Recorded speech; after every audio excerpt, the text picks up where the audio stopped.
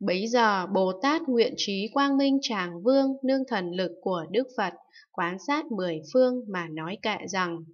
nếu hay khéo quán sát, biển Bồ Đề vô tận, liền lìa được niệm si, quyết định thọ trì Pháp, nếu được tâm quyết định, thì hay tu diệu hạnh, thiền tịch tự tư lự, dứt hẳn các nghi hoặc, tâm đó không mệt mỏi, cũng lại không giải đãi, dần dần tu tăng tấn, rốt giáo các Phật Pháp,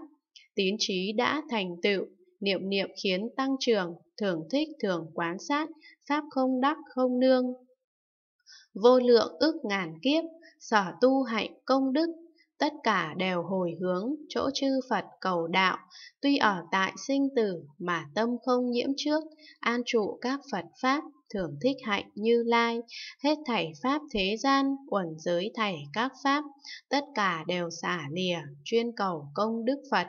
phàm phu do vọng hoặc, nơi đời thường lưu truyền, tâm Bồ Tát vô ngại, cứu họ khiến giải thoát.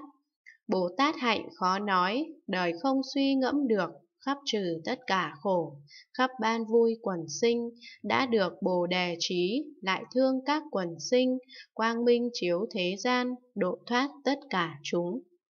Bấy giờ Bồ Tát phá nhất thiết chướng dũng mãnh trí vương, nương thần lực của Đức Phật, quán sát mười phương mà nói kệ rằng, vô lượng ức ngàn kiếp, tên Phật khó nghe được, hà huống được gần gũi, dứt hẳn các nghi hoặc, như Lai đèn thế gian, thông đạt tất cả Pháp, khắp sinh phước ba đời, khiến chúng đều thanh tịnh. Như Lai diệu sắc thân, tất cả đều kính khen, ức kiếp thường chiêm ngưỡng, tâm đó không nhàm đủ. Nếu có các Phật tử thấy diệu sắc thân Phật, sẽ bỏ chấp các cõi, hồi hướng đạo Bồ Đề. Diệu sắc thân như Lai, luôn nói tiếng rộng lớn, biện tài không chướng ngại, khai môn Phật Bồ Đề hiểu ngộ các chúng sinh, vô lượng không nghĩ bàn, khiến vào môn trí huệ, được thọ ký bồ đề, như lai hiện thế gian, làm ruộng phước cho đời, dẫn dắt các hàm thức, khiến họ tu phước huệ. Nếu ai cúng dường Phật, vĩnh trừ sợ ác đạo, tiêu diệt tất cả khổ, thành tựu thân trí huệ.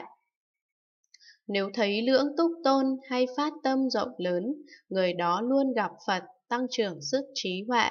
Nếu thấy nhân trung thắng, quyết tâm hướng bồ đề, người đó hay tự biết, tất sẽ thành chánh giác.